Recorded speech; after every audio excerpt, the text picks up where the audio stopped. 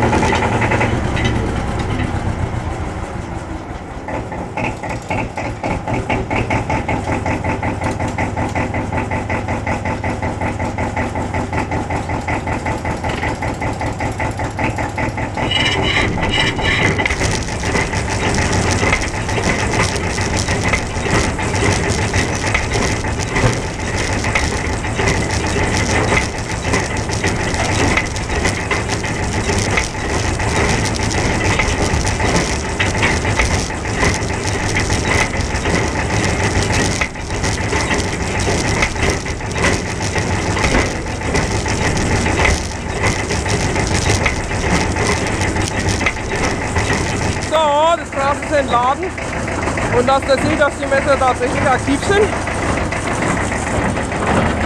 Hui, da sind sie. Eins, zwei, drei, vier. Na gut, dann waren es halt plus fünf. Die haben auf alle Fälle gearbeitet. Ja, und die Batterie ist auch leer, ich weiß. Ja, da liegt der Grashaufen. Ja, die Kundel zeigt es nicht mehr. Gut, ähm, Ladewagen aufräumen und Rahmen aufräumen, Stelle machen und dann ist wieder Feierabend. So. Jetzt nochmal runterschalten.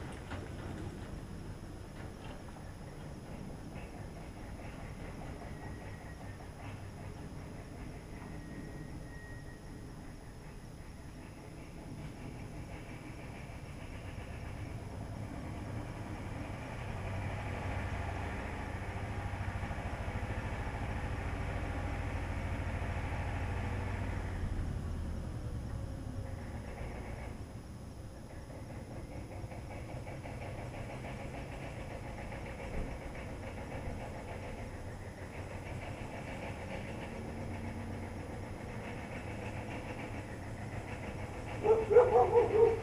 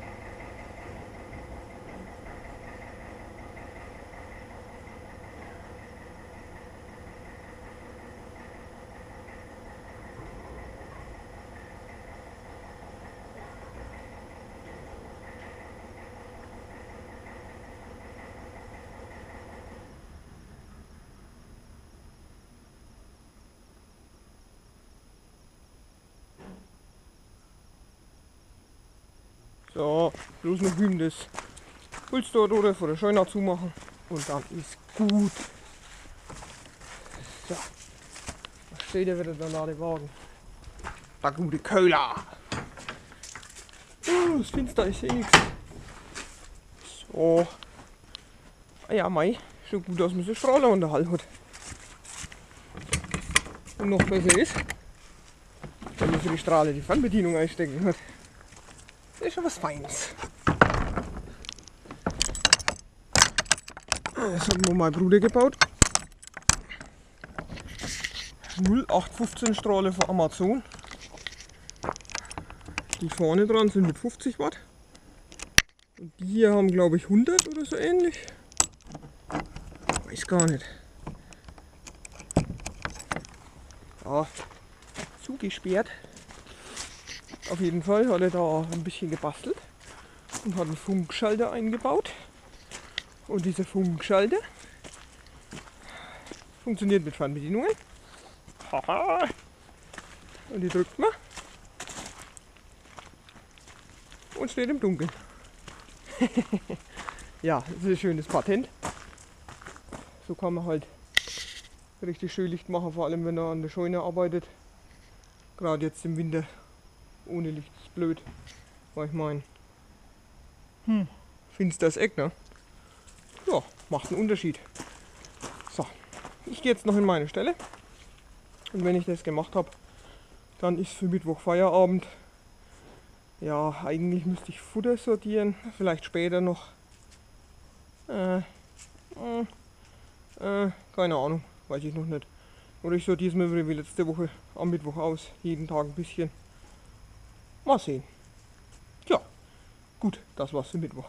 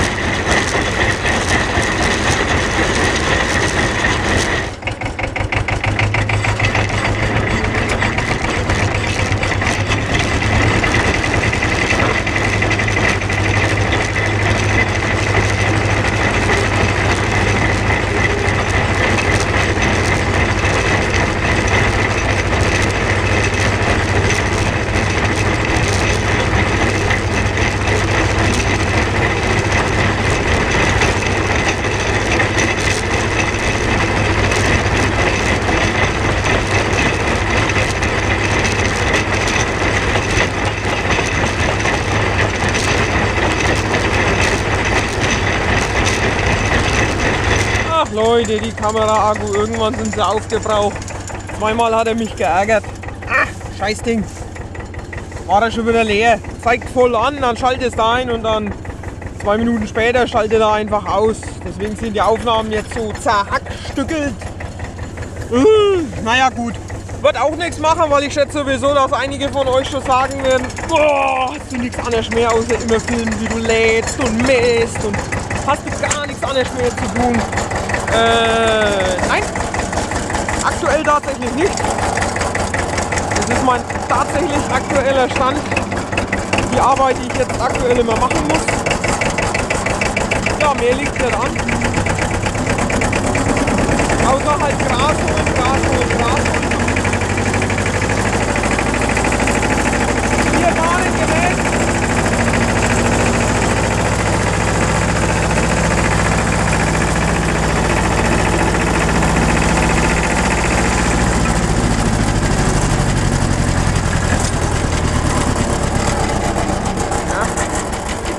Knapp runtergefallen. So eine Sau.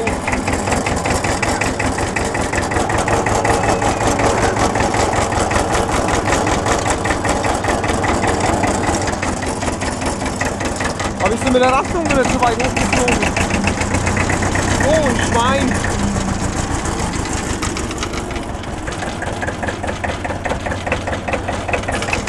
Ah, Hauptsache die Räder hängen noch dran.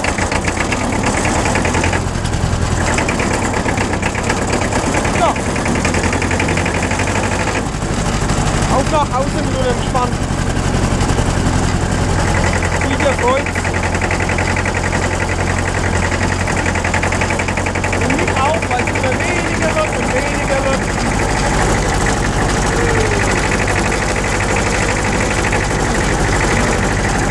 Vielleicht sollte man auf die Straße gucken, wo man rumeiert. Und nicht nur in die Kamera. Au weh. ah ja. So ist das.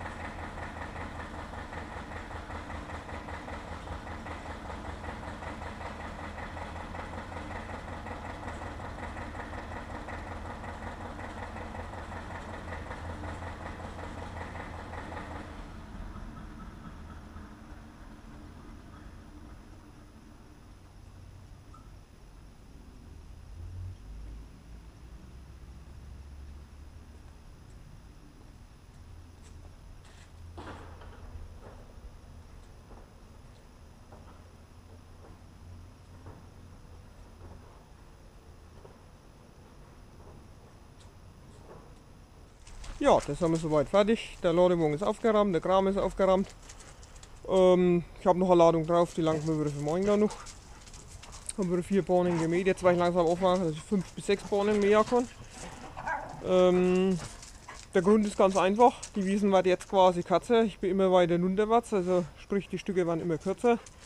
Und ja, am Schluss da werde ich dann ein Stück haben, wo ich gar nicht mehr ganz unten anfangen brauche. Weil eure Heckenentlang ist ja eh nicht zu dick. Ja, und dann wird die Wiese doch da unten langsam. Dann hätten wir noch eine und dann könnt ihr mal ein Mist drauf. Und im Frühjahr dann eventuell mal ein wenig nachsehen.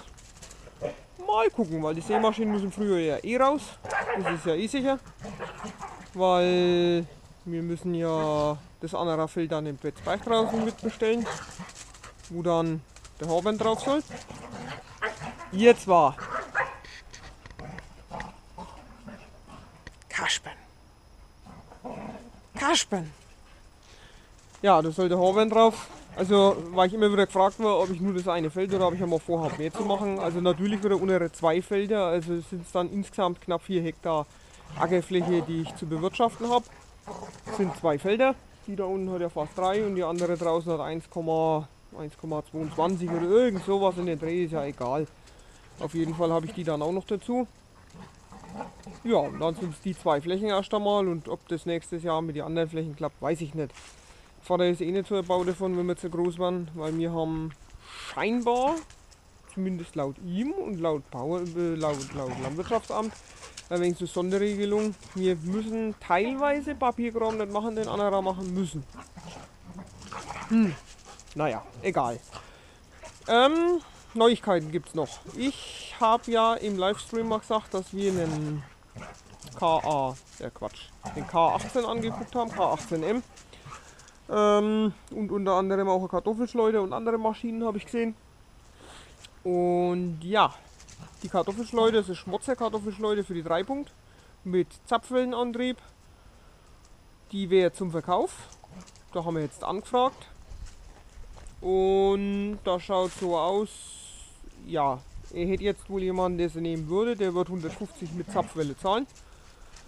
Wenn ich sie haben will, selber Preis, dann würde sie hergeben. Das haben wir schon gesagt, das wäre natürlich interessant, so ein Dreipunktgetriebe. Ich brauche sie ja im Endeffekt nur für die Bamberger Handler. Für was anderes brauche ich die Schleuder nicht. Die Schleuder, die wo wir hier stehen haben, steht immer noch hier außen rum, ich weiß. Ähm, die hat der Großvater mal gekauft, bevor wir einen Samro-Roder gehabt haben. War die hier. Die ist nicht schlecht, die funktioniert, vor allem jetzt nachdem ich die Eisenringe runter gemacht habe. Einer ist schon wieder drauf, den anderen muss ich noch montieren. Also ohne Eisenringe läuft die ja perfekt. Geht ganz gut. Ähm, Fahrrad aber gemeint, schöner wäre natürlich die für die Treibung, ganz klar.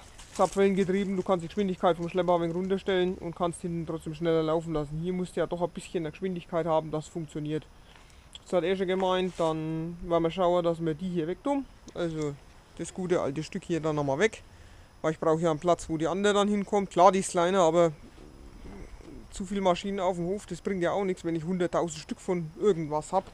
Also zwei Kartoffelrote reichen, einen für die Bamberger Handler Schleuder und den Samro-Rote für die anderen. Das wird wohl genug sein. Also brauche ich ja nicht noch eine dritte Schleuder hier stehen haben, die ich dann sowieso nie mehr verwenden tue. Und ja, Szene Gartenstellen als Ausstellungsstück, da ist ja auch zu schade für. Vielleicht ist ja der ein oder andere von euch dabei, der sowas sucht. Ich werde es wahrscheinlich dann in die Kleinanzeigen ausschreiben. Das Ding müssen wir mal gucken, was die so gehandelt werden, keine Ahnung. Dann werde ich sie zum Verkauf anbieten. Und ja, so ist sie gut in Schuss, gibt es nichts. Abgefettet worden ist sie immer, Öl hat sie drin. Die Eisenringe sind vorhanden, wenn man sie braun geht. Ähm, verstellbar ist sie ja über die Handkurbel hier vorne einmal. Da man sie schwenken. Zum Beispiel hier rüber. Dann hat man hier noch den Bolzen zum Verstellen, den Handhebel hier. Dann ist noch so ein Aufreißer da, der quasi den Boden ein vorreißt fürs Schauen. Das hinten dann schön läuft. Ja, mal gucken. Und schon wieder ein Haufen Verkehr. Mal gucken, dann werde ich die da weg tun.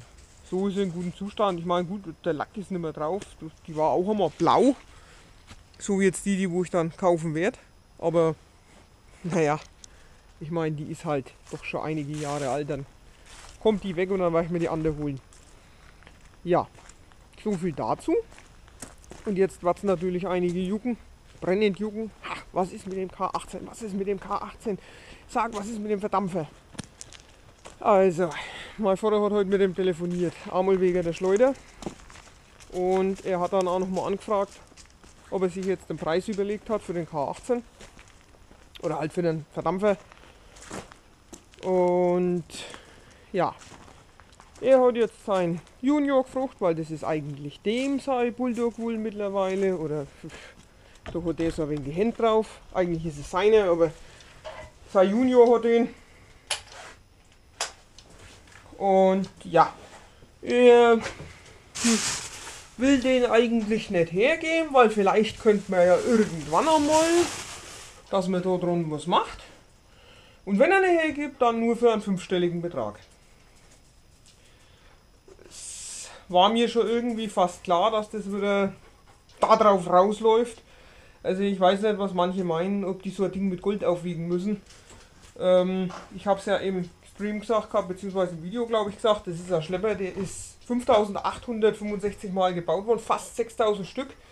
Alleine von dem mit dem Güldner Motor.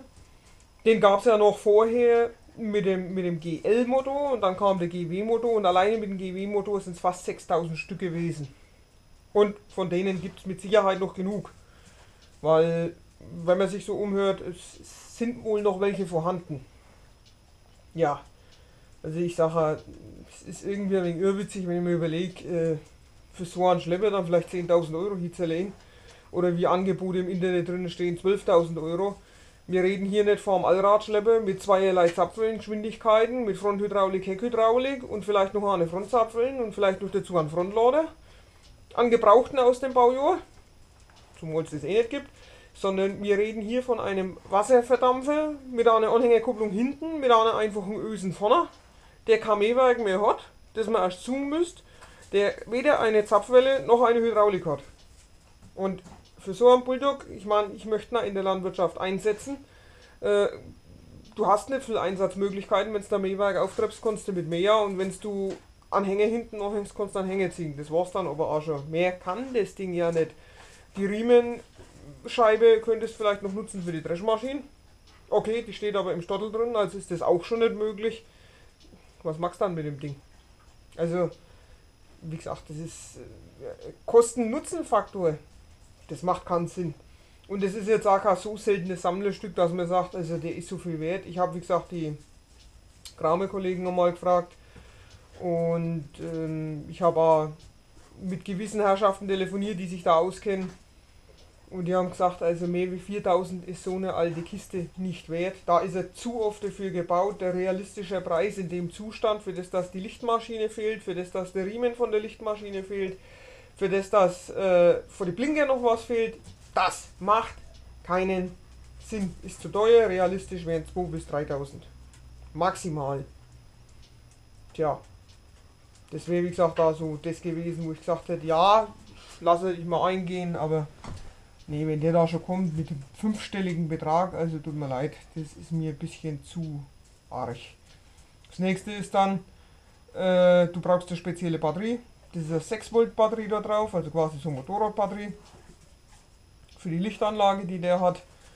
Ähm, eine Lichtmaschine müsstest du organisieren. Speziell da dafür, die ist ja auch nicht mehr da. Wie gesagt, das ist man, wenn wir die Kartoffelschleuder dann da oben abholen sollten. Ich werde das noch einmal sagen, was ich jetzt quasi ausfindig gemacht habe. Ich werde noch einmal versuchen zu bohren, aber ich würde mal eher tippen, das wird nichts werden. Das können wir ablöten. Schade, ich gebe es ganz ehrlich zu, mich hätte so ein Verdampfer durchaus gereizt, hätte ich richtig Freude dran gehabt. Aber ich gebe keinesfalls Magst denn du? Schaust aus wie eine Sau. Ich gebe keinesfalls einen fünfstelligen Betrag für so einen Schlepper aus. Einen kleinen dreistelligen, äh, äh, einen kleinen vierstelligen Betrag, ja, aber einen fünfstelligen da oben. Tut mir leid. Also mein besten Willen. Ja, das wollte ich jetzt an der Stelle auch noch gesagt haben, weil es ja mit Sicherheit Leute gibt, die sich dafür interessiert haben. Ah, oh, vielleicht kauft er sich den. Ich meine, ich habe in die ich bin ja der, der Krame-Ober quasi unter die äh, YouTube-Kollegen. Das hat der, wir hatten das einmal gesagt, ich glaube der, der Peter, der Country Life Germany hat einmal gesagt, Krame-Ober, weil du zwei Krame hast. Und ja, also der Krame-Ober, bin ja auch der älteste von uns quasi, der zwischen Dreizylinder Power Country Life Germany bin ich jetzt der, der älteste quasi und da der, der Modelleiche ist ja jünger. Deswegen bin ich der Krame Ober.